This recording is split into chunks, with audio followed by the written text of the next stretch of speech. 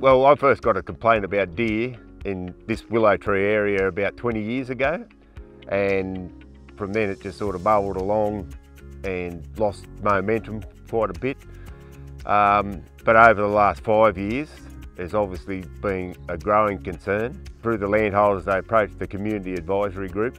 Um, they've got a landholder in the area who brought it to the LLS.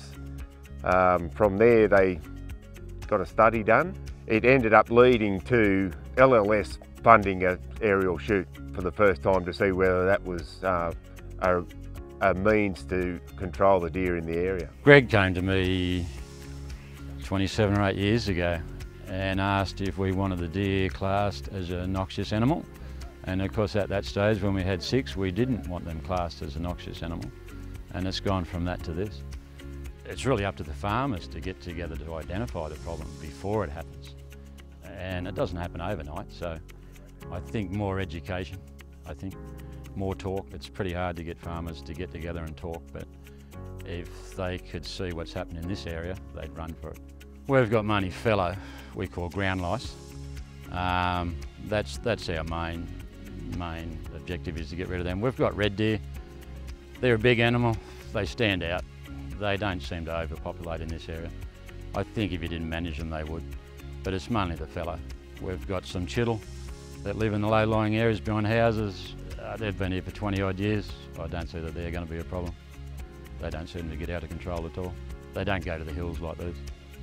But it's the, the migrative fallow that I call now. We've got local deer that live on the place in little numbers, and we have massive herds, thousands in migrative mobs that move around. And although the chopper shoot seems to be very successful, time will tell just on how successful it is if we have feed and no one else has. Um, so that'll be interesting down the track. But it's certainly in this low-lying country, we shouldn't have had the deer and the choppers got rid of them out of that. And they don't seem to want to go back into that country. They seem to be pretty shy on the open country. When it used to rain, uh, deer prints everywhere, deer sign everywhere, more and more. And um, shooting at night, yeah, the mobs were getting bigger and we just couldn't keep up. So um, there's a lot, there's a lot more we have to do other than just look after cattle, feed cattle and with off-farm income, go to work. You then have to come home and um, feed cattle, then shoot. And um, yeah, gets pretty repetitive. Um, so feral deer here have been a massive problem. Um, you end up walking grass, uh, you're not walking grass off in cattle's bellies, which is where the money is made, like most grazing properties are uh, grass growers. But it's not only what they eat in the grass value, it's more um, uh, your fence damage and your weed control. Uh, I inherited St John's wort, um, grass and fireweed in one season, over half the property, because the neighbours above me had done nothing with the deer. Uh, wouldn't let you shoot the deer on their side of the fence. So they grazed on our side during the nights and ran back in their place during the day.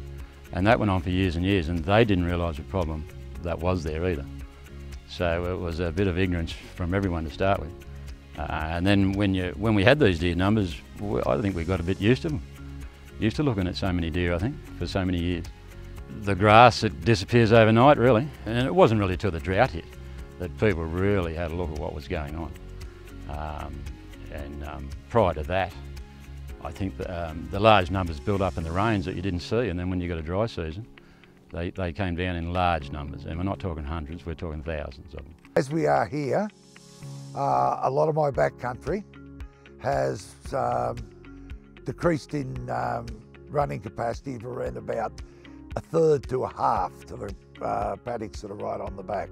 We're down to 60 cows from 200. You'd have um, go to a cottonseed trough that you're feeding cattle and you'd have 50 deer run away from you too. So I'd, I'd hate to think what they just cost us in the last 12 months alone. But uh, but um, they're particularly bad on, on crops. Like we grow sorghum just up the road and, and deer there, they, they're particularly destructive. They, they'll sort of knock it all over, eat the heads off really quickly.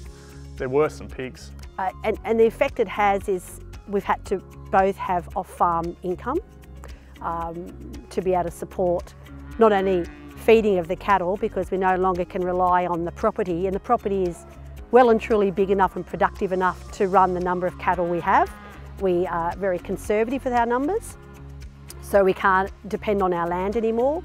What it came down to, especially over the last two years, and it commenced, um, I recorded October 2017 when we really started intensively feeding the cattle, that we would have to come home, you know, do dinner and make feed and be out at night time feeding cattle. And it, it, you just can't sustain that. The deer only eat the best feed, you know, they don't, you'll see the cattle and things are tough, you know, they're in the paddock they're in, they can't get out, they can't go, you know, to the one next door that we've locked up. They've got to make do with what they've got, but the deer can go wherever they want. Um, pretty hard to believe unless you actually see it. And I think we got used to the look of that for a while. But as the dry set in, you just can't have that going on. This is a huge problem. It's something bigger than we can possibly contend with. What are we going to do? How, how can we eradicate them? Is there a poison we can use? We talked about uh, exclusion fencing. Can we sort of, that's really looking after yourself though, isn't it really? If you, you know, you fence your own property with exclusion fencing, you're looking after number one, that's not going to, that's not a community uh, solution at all, is it? So, you know, and it's only affordable to some.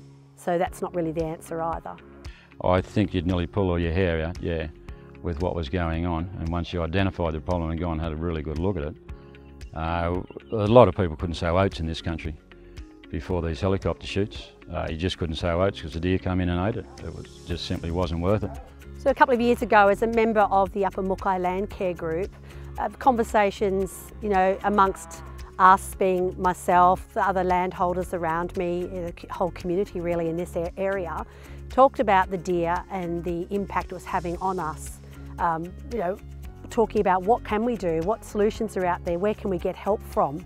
Um, following on from that, um, a local member of the Upper Mooki Landcare Group who's, who's always been a really active member, Heather Ranclaude, you know, really pushed um, the local, the local uh, Liverpool Plains Shire Council uh, that we need to lift restrictions because deer have always been reviewed as a, an, as a game animal and therefore to hunt and shoot them for you know, culling purposes to reduce the numbers was never something we could do and frowned upon and you couldn't spotlight them and there were just so many restrictions. So the push that came from that area was fantastic because that meant we could go out and start culling, even though, as I said before, um, it, the number didn't really have the impact we needed, but it was a start. So thank God that we did have that um, push from, the, from that group, that land care group, that we did have the uh, council come on board.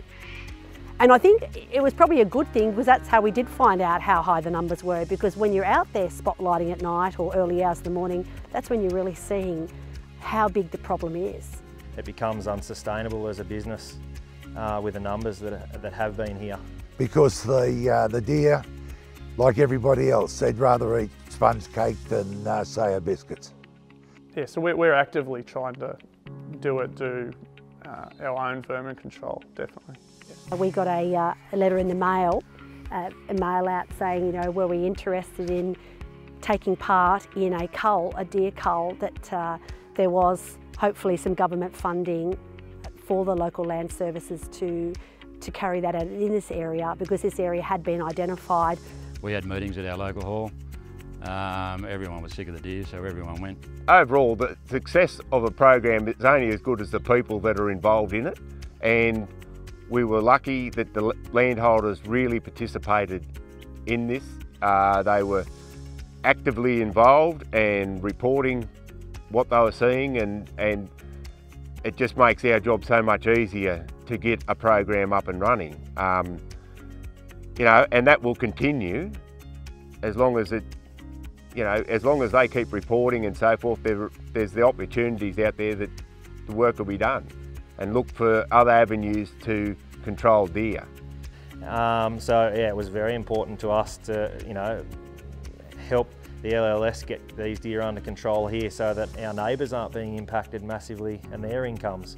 So um, the cull of the deer has, has meant for us, look, not only a feeling of relief, but a feeling of um, positivity and looking to the future with a better, with a better attitude and, a, and an outlook. You know, bottom line, I won't have to spend as much on cattle feed we don't have to contend with feeding the deer as well. Oh, the cows are so happy, listen to them. We're, while we're still feeding, uh, we're able to lock paddocks up and they are coming away. So um, there's hope there, but um, I think everybody just wants more rain. And, and the effect that it has had on the place and, and then seeing the after effects now that we've had a little bit of rain and the, and the growth, you can tell where there was no feed and it was chewed to the boards, not by cattle. And now we have grass under fences where deer have been popping under. There's no traffic uh, um, you know, it's made a massive impact on the place. That, yeah, the, the biggest thing is that the staff aren't seeing the numbers in the paddocks. One of the biggest um, differences here is we can plant crop and you can drive around it of a night time and we don't actually have, you know, two or 300 deer grazing it of a night time, chewing it down to the, to the dirt. Um, and, we're, and, we're, actually getting somewhere with pastures. It's good to see things happen and, and realise there's a problem. We're really happy. There's still some out there. We need to now help the situation by maintaining our diligence and going out there and, and culling what we see. So we have to remain diligent as a community and we still need to go out there every week, you know, and, and shoot whatever we see. With this program, um, it didn't get off until the deer numbers were really large. I mean, our figures look spectacular, but it's a, you're working on the problem when it's at its worst. So I'd just like all landholders who are seeing a few deer now to um, think, oh, not to think that, oh, they, they're pretty, I don't mind having a few deer on my farm because it, it's only a few years from that until the problem that we've got up here. And they're no longer pretty, but they're a real detriment to your business. Um, so if you're starting to see a few deer, if you report it to your biosecurity officer, your local biosecurity officer so we can note it and then we can get down to working out ways of dealing with that problem straight away. If you, if you know there are deer coming to your area, move quickly. Uh, they're not just my deer, they're everybody's deer. So I'd, I'd prefer to jump on them while they're in small numbers and, and try and keep on top of them before you, you really see massive production losses. I keep telling people all the time that the deer is the new rabbit. I uh, would recommend to anyone to uh, really keep an eye on your property. If you see two or three deer, you've probably got 30 or 40. If you see 50, you've got 500. They're not sweet bambies that just jump and look lovely. They flatten your fences completely and your feed. Treat them as vermin. That is what they are. Uh, we, we should have done something 20 years ago. and we didn't realise then we had to. It's really up to the farmers to get together to identify the problem before it happens. If they could see what's happening in this area, they'd run for it.